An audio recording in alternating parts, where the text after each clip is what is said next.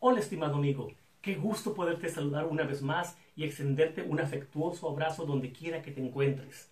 Hoy quisiera, más que todo, recordar, recordar acerca de un formato que en su tiempo llegó a consolidarse como, como un formato de culto en Asia, particularmente en Singapur, en Hong Kong, en Japón, pero que en Norteamérica, Sudamérica, Europa no llegó a consolidarse de la manera que se esperaba. Me refiero al Laserdisc. Este formato que vino a revolucionar el mundo del video y también del audio, eh, tuvo un espacio histórico corto, pero intenso. Y por eso quisiera invitarte en estos minutos para poder hablar un poquito más acerca de el Laserdisc. Por favor, acompáñame. Cuando hablamos de el Laserdisc, nos referimos a un formato gigante. Posiblemente las generaciones nuevas no recuerdan o no saben que este formato vino con la intención de quitar, de hacer un lado las cintas, el VHS, el Betamax, e introducirse en el mercado de las películas. Obviamente, eh, aunque hubo intentos eh, primarios a finales de los setentas no fue sino hasta, digamos, finales de los 80 cuando este formato empezó a proliferar en los mercados electrónicos de Asia. Y eh, hubo una marca, me refiero a la Pioneer, que fue la que después eh, compró la mayor parte del stock de la bolsa, de la propiedad, del registro y comenzó a fabricar eh, reproductores de altísima calidad. Posiblemente este sea uno de los mejores, si no el mejor Laserdisc jamás construido. Este es el de la serie Elite, el de la famosa serie DBL, y que es además de reproductor de Laserdisc, también reproduce DVD y reproduce CD.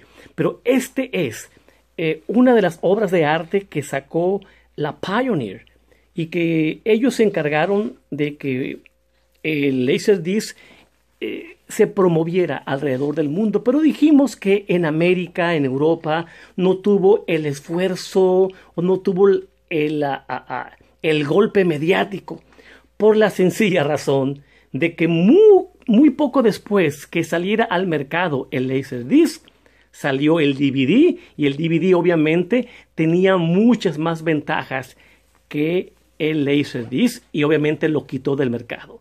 Hubo eh, algunos intentos de la Pioneer, porque fue el último fabricante de Laserdisc que estuvo en el mercado hasta el 2009. Fue el último esfuerzo. Este fue la última obra de arte que sacó la Pioneer y fue la Corona. Eh, por eso ya tiene DVD, ya tiene CD y se eh, reproduce todos los discos que en su tiempo se reproducía. Pero no fue suficiente. Hay algo que yo quisiera comentar con ustedes porque hay varios álbums que, que están tanto de video como de conciertos, ¿sí? Eh, este es, por ejemplo, el de Pink Floyd, The Wall. Eh, aquí tengo conciertos en vivo de Eric Clapton, de, de John uh, Coltrane, tengo uh, The Cream, tengo de Barbara Streisand y otros más. Por aquí, ¿qué tengo más? A ver, ¿qué tengo por aquí? A ver, tengo unos cuantos aquí. Tengo de Neil Young, casi nadie, mira. Ah, tengo aquí otros Laserdisc. Aquí está, mira, Eric Clapton. Tengo aquí a The Crosby, Still Nash. E, es sí, Laser Video. Eh, ahorita los vamos a, a, a, escuchar. Pero sí quisiera decirte brevemente que, que fue muy interesante la propuesta de Laserdisc en un momento cuando la cinta estaba dominando el mercado. Y obviamente eh, vinieron, se quedaron, pero por muy poco tiempo. Después vino el DVD y ya les quitó el trono. Vamos entonces ahora a eh, observar más claramente cómo está construido para aquellos que quizás son muy jóvenes y no tienen un poco de idea de cómo estaba he, hecho, fabricado el Laserdisc. Acompáñame. El Laserdisc, eh, quizá algunos lo confunden por el tamaño que tiene con el vinilo, pero mira, quisiera que vieras más o menos, aquí está. Pareciera un CD gigante, ¿verdad? Pero no. Aquí está, mira. Este es el Laserdisc. Y traía contenido por los dos lados. Y cuando uno coloca este gigante, este gigante, ¿sí? En la, en la bandeja y empieza, obviamente, pareciera que está un avión, pareciera que las turbinas están entrando, ¿no?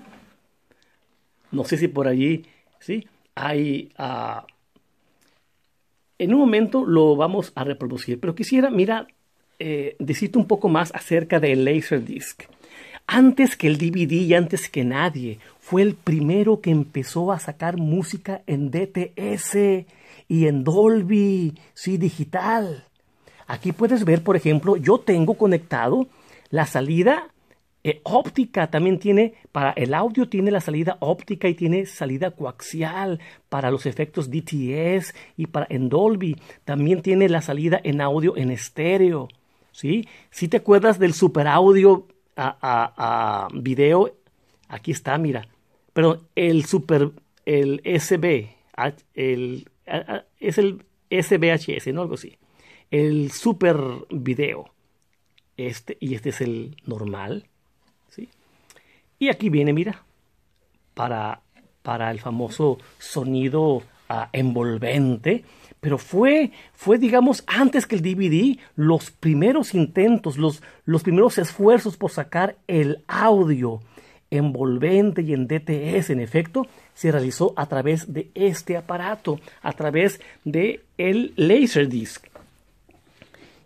Y uh, si lo comparamos, por ejemplo, vamos a hacer una pequeña comparación para aquellos, obviamente, que, que son, que son, uh, uh,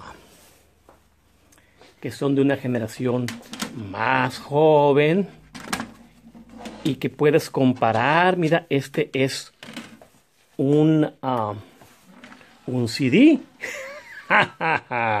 y este es un Laserdisc. Si te das cuenta del tamaño, ahí está.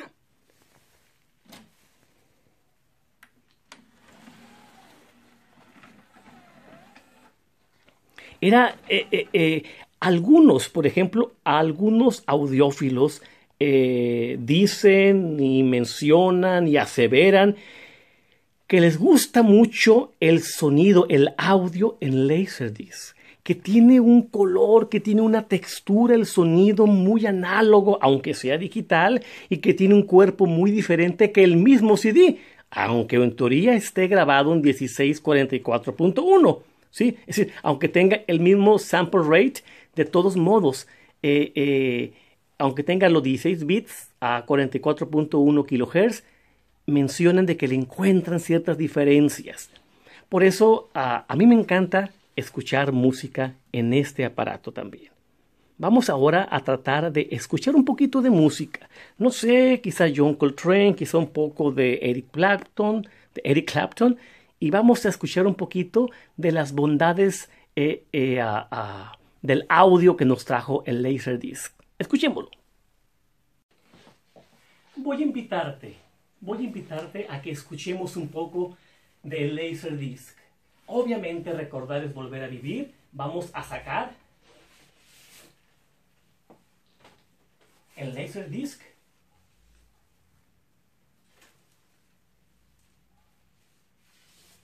Lo sacamos, ¿te das cuenta? Abrimos la bandeja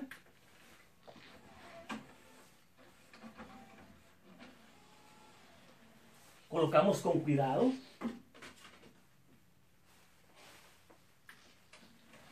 Cerramos.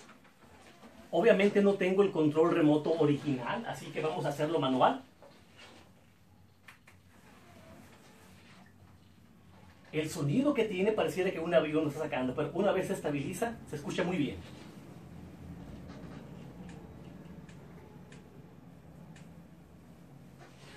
Disfrutemos.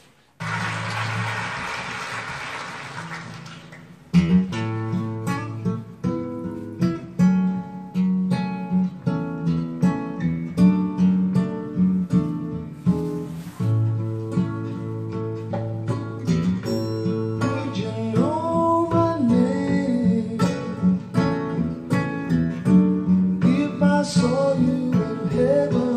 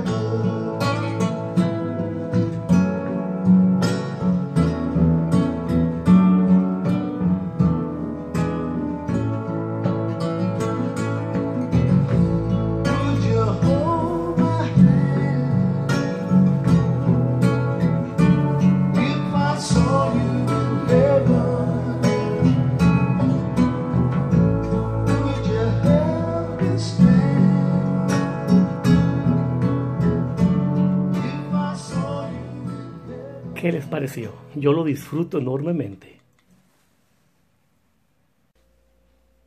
Pues sí, el Laserdisc vino para quedarse en los corazones de aquellos que nos gusta preservar la historia. No quiero entrar en el eterno debate de qué es mejor lo físico o el streaming o el archivo digital. No, no, no, no. Yo quiero simplemente evocar que habemos personas, porque me incluyo en ese tipo de personas, que el hecho de mantener un formato físico, independientemente de la cuestión de la calidad, nos hace ser o sentir que tenemos parte de esa historia. Algunos somos nostálgicos, algunos eh, no únicamente nos gusta el aspecto auditivo, también apreciamos el valor histórico y no únicamente de apreciarlo.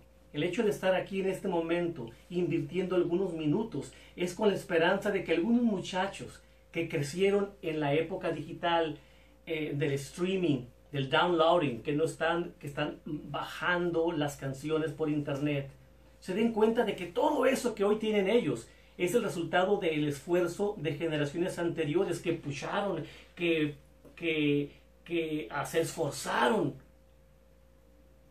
para que la tecnología llegue hasta el momento en que hoy está. Y el Laserdisc es parte, es un eslabón en la cadena del progreso. El progreso que hoy tenemos, los tremendos beneficios que hoy tenemos en la calidad de la música, no sería sin este eslabón. Este eslabón llamado Laserdisc fue un intento noble, eh, eh, un intento eh, grandísimo por traer al audio y al video algo más de calidad.